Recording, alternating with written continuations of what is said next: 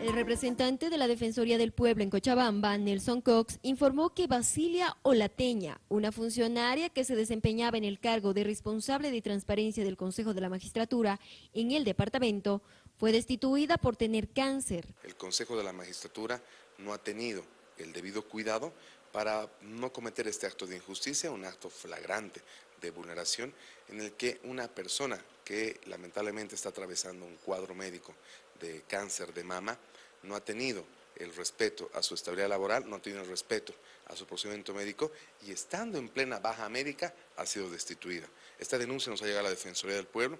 Nosotros hemos visto que eh, ante la situación confirmada de parte del Consejo que no ha retrocedido en cuanto a su memorando de destitución, corresponde a la acción de amparo constitucional, hemos interpuesto ya la acción de amparo.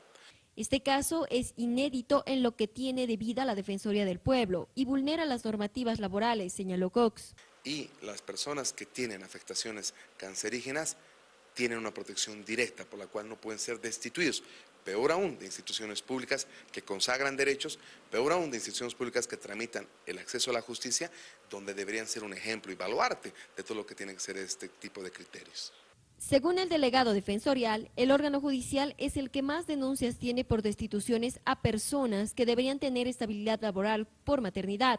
Entre el 2017 y lo que va del 2018, la Defensoría del Pueblo ha atendido cinco casos de este tipo.